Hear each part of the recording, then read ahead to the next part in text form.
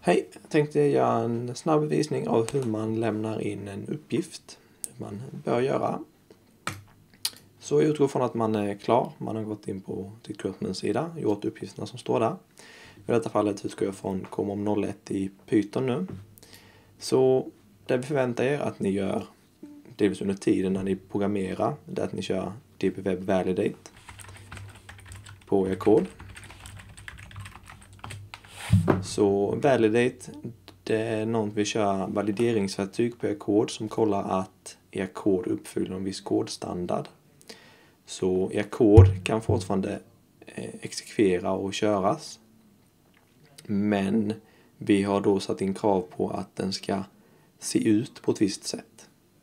Så min kod här till exempel har jag eh, eh varningar då som jag behöver fixa. Man får komplettering om man har valideringsfel på sin kod. Så vi kan se de här då och sen då att vi failar med vår validering. Och sen så står här eh, vilken fil det rör sig om. Så här är min labb. Och sen så står här vad som är felet. Och sen här kan vi även se var i filen det är. Och här står vilken eh, rad felet är på. Och samma med denna fil.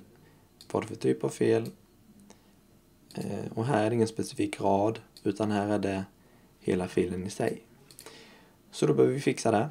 Jag ska även visa, ni gör ju även dbweb publish när ni då laddar upp koden till studentservern.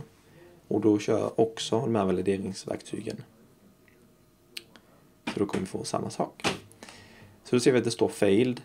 Eh, även om det ser ut att vi inte lyckades med uppladdningen så laddas ändå filerna upp. Men det är då att valideringen eh, gick inte igenom och därför ser det som saker fel ut. Men filerna finns fortfarande på studentservern. Men då eh, går vi igenom dem. Och så kollar vi på rad 57 i min answer-fil. Så står här exactly one space required after assignment. Så här kan vi se då att vi har en tilldelning. Och då tycker den att det ska vara ett space efter vi gör en tilldelning. Så efter det är lika med tecknet, vilket det inte är. Så då öppnar vi min kod. Sen går vi till rad 57. Vi kan se här. Så då lägger vi till den. Och då kan vi köra valideringen igen. Validate kommer om 01. Och då ska vi förhoppningsvis bara ha ett valideringsfel kvar. Ja, då blir vi av med det. Nästa är Eh, Python script ASCII text executable with CRLF line terminators. Så här har jag inte riktigt lyckats med min eh, Atom-inställningar som vi gjorde. För en av inställningarna var att vi ska köra med LF rader och slut och inte CRLF. LF där använder man Linux, CRLF där använder man i Windows-datorer. Eh, men då när man gör installation av Atom så säger vi då att man ska ändra det. Eh, Eh, ett snabbt sätt att bara göra det för filen man är i kan man se här nere till höger. Eh, så här visar det vilken radarslut det är på filen jag är i. Och denna har då CRLF så du kan klicka på den, ändra till LF och sen spara. Tyckte jag. Eh, ja, nu står det LF, så lite steg bara. Och nu ska denna filen då vara i eh, rätt format. Så gör vi validering igen. Och då blir det grönt. Så nu är vi klara. Uppgift funkar. Nu får man kolla på andra sätt. Men den följer vår kodstandard. Jag kommer att prata mer om det någon, nästa vecka på någon föreläsning tror jag. Så då är vår kod redo att publiceras. Notera det här med LF. Eh, nu hade jag bara fusk förstört den här filen så detta funkar. Men om det är någon av er som eh, får detta felet, då behöver ni gå in i inställningar och sätta ett, eh, eh göra ett val där. Men det, det visar sig i installationsguiden visar de hur man gör det. Så där kan ni kolla det. Så nu när det validerar, då gör vi publish på den. Publish. Och då kör den igen då valideringsverktygen. Och så blir det okej. Okay. Så nu har den igen då laddat upp filerna. Då skriver den över filerna vi laddade upp innan. Och denna gången så är det då med validerade filer. Så det ni ska göra det är att skriva redovisningstext, svara på frågorna i kursmomentet. Och när ni gjort det så ska ni då lägga in det på er i Mi-sidan. Och sen då lägga det upp på Canvas. Jag ska visa det snart. Men en till sak ni kan göra för att säkerställa er att saker funkar som det ska. Det är att köra samma kommando som vi gör när vi rättar er kod. Och det är dbweb inspect 01. Det är det här vi gör på er kod. När vi rättar den. Bara klickar man enter här. Så då kommer vi ändå köra valideringsverktygen på er kod.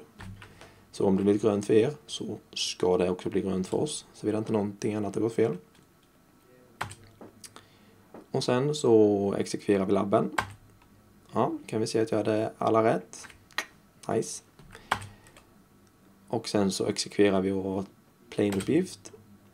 Och så får jag testa att skriva in saker. Och det stämde de värdena. Och sen så får vi utskrift av koden, så den ser ut. Och sen ja, kan validera min missida men jag har inte gjort den. Jag skippade den nu. Men det ska ni då ha validerande koder också. Så nu fick jag ju failed här just för att jag inte gjort min mi-sida. Men annars så skulle denna också bli grön då. Så det blir grönt fel här och det, man fick rätt värde när man exekverade filen. Då borde ni vara redo för att få godkänt av oss när vi rättar det. Men eh, då, så att vi har gjort redovisningstexten, vi har gjort publish på vår kod och gjort publish på mi-sidan igen då när vi har gjort redovisningstexten. Så då går vi till Canvas och så går vi till uppgifter. Så vad det kommer om 01 jag har gjort nu. Skicka uppgift. Så drar vi ner den. Så då pastar jag min eh, redovisningstext där som jag så duktigt skrivit. Och så får vi inte glömma att vi vill ha med eh, en länk till vår Mi-sida. Vilket man kan få här. Den kommer även i slutet av eh,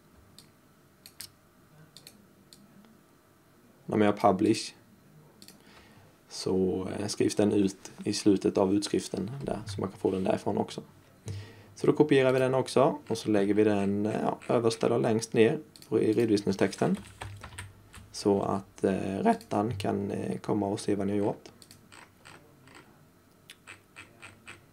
Och sen är vi redo. Sen klickar vi skicka uppgift. Okej, okay, måste klicka godkänt där. Att jag inte har fuskat. Så. Och nu har jag bara kvar att vänta på att eh, någon kommer och rättar det åt mig. Om det skulle vara så att man kommer på till exempel att då, ja men oj, jag glömde skicka med länken till missidan. Det är väldigt många som glömmer det, väldigt länge kan jag säga. Och då kan man få komplettering. Beror på hur snäll rättaren är.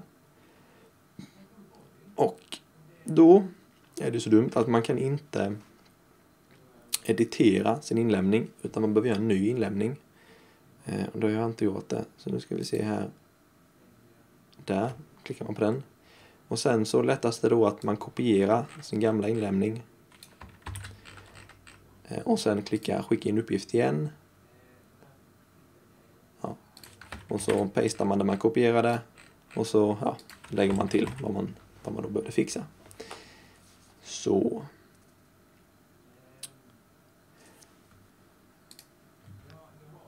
Så behöver man klicka den igen, ja. Ska vi se en också till sak. Ingen kommentar. Jag har för mig att ni kan lägga precis här. Här som student kan man lägga till en kommentar. Eh, men det man ska tänka på då det är att vi ser inte i vår översikt när ni gör kommentarer.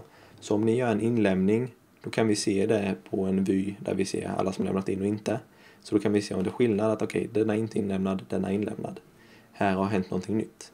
Men om man bara kommer och lägger en kommentar, då, då får vi ingen notifikation. Då kan vi inte se att någonting har hänt. Så om ni då till exempel har glömt eh, er mi-länk, den länken, och sen så kommer man rätta det och så ger ni en komplettering för att man inte eh, får länken. Och då tänker ni, ja men då tar jag bara kopiera länken och så klistrar in den här.